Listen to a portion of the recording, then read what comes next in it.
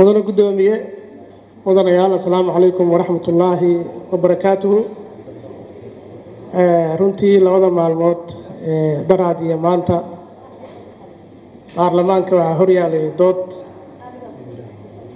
kulul oo xildhibaanadu siyaabo kala duwan ay uga hadleen runtii doodaha markii siyaasadda la gaaro iyo masiirka ummadda dadka qaar xasaasiyaa qabatay xildhibaanadu horta caadiha iska dhigaano.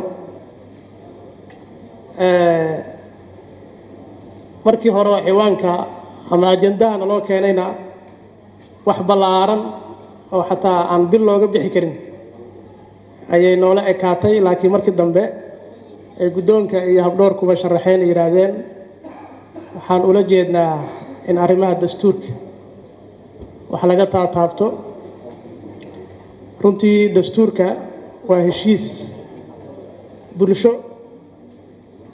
Midka aan maanta haysanana waxaa la sameeyey laba kun labaiyo tobankii oo siddeed boqol iyo labaatan iyo shan.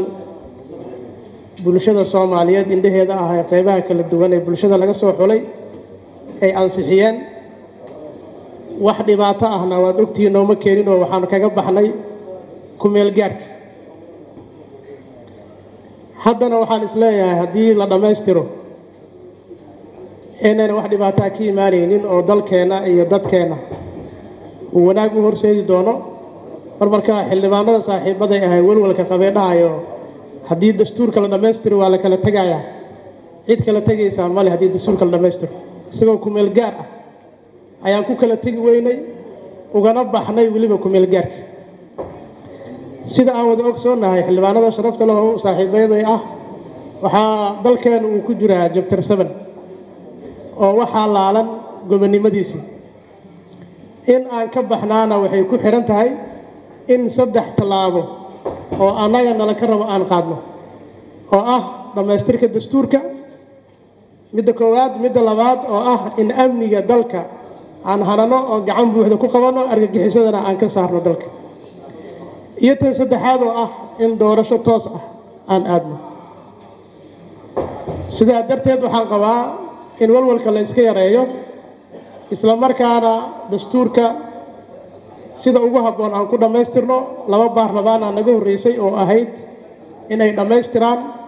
Hase ahaatee waxaa hor istaagay heshiisyo siyaasadeed oo ay ahayd dowladda dhexe iyo dowlad goboleedyada inay wada galaan badankoodiina waad ogtihiin waa la galay oo way soo dhammaadeen.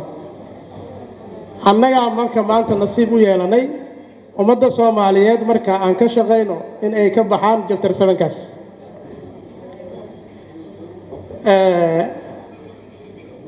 sidoo kale waxaan arkaynay maalmahan markii dastuurkii arrimihiisii la galay siyaasiyiin qaarkood dalka soo hoggaamiyey oo wiiftooyin soo gamaaya sida aan ogsoonnahayna waa musharaxiintii dalka aysan u suuro gelin ama nasiib u yeelanin in ay dadka hoggaamiyaan mid walbaana markii shalay oo horteena ka khudbaynayay ka hor ballan qaaday in uu lambar wan u yahay ama ahamiyadda koowaad ugu jiro dhammaystirka dastuurka.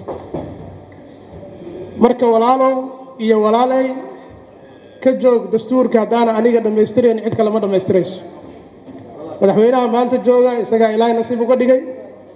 Xildhibaanada maanta joogana iyagaa ilaahay nasiib uga dhigay. In wixii madaxdii hore iyo baarlamaanadii hore ay ka kaabiyeenna ay suurtogeliyaan ha loo oggolaado. Waxaa kuu wanaagsan haddaad beritoole dalka aad madax ka naqon lahayd in dalka oo dastuur dhammaystiran leh amnigiisiina gacanta lagu haayo. Doorasho toosana aad ku timid aada sidaasi la mid ah waxaa maalmahan maqlaynay gogol soomaaliyeed oo la fidinaayo. Goglahaasi soomaaliyeed ummadda soomaaliyeed way u baahan tahay. Haddii loola jeedo gogashaasi in ummadda soomaaliyeed dhibaato haysato looga dulqaado laakiin haddii ujeedkeedu uu yahay sida xogo hoose aan ku helayno in dastuurka lagu hor istaago oo dalka horsocodkiisa lagu hor istaago oo ummadda soomaaliyeed meesha ay joogto ayna ka dhaqaaqin. Waa in arrintaasi dib looga joogsado aadna looga fiirsado. Markii laga hadlaayo siyaasadda dalka iyo masiirka ummaddana hay'ado dowladeed ayaa jiro u igman oo ummadda soomaaliyeed ay u dooratay iyagaana samaynaya baarlamaan weynow awooddeenna yaanan u idmanin. Cid kaleete oo cid kaleete aysan gacanteenna raashinku cunin annagaa samayn naqaana bulshada soomaaliyeed waa naqaanaa qeybaheeda kala duwan. Public hearinaa loo samayn karaa halkan hoolkaa lagu ballamin karaa dastuurkii iyo arrimaha iyo waxa ay ka qabaan waa looga dhagaysan karaa. Laakiin ciddana gaara leh inay tidhaahdo gogolaan fidinayaa ee dastuurka hala joojiyo ilaa gogoshaas ka dhammaato gogluhuna way soconayaan dastuurkana hawshii baarlamaanka waaye wuuna wadanayaa waxaa horey loo yidhi ninka waxa la wada diidan. Wuxuu ku beddelana aan haynin wuxuu doonayaan jirin aadaan u mahadsantihiin. Assalaamu calaykum waraxmat wabarakaatu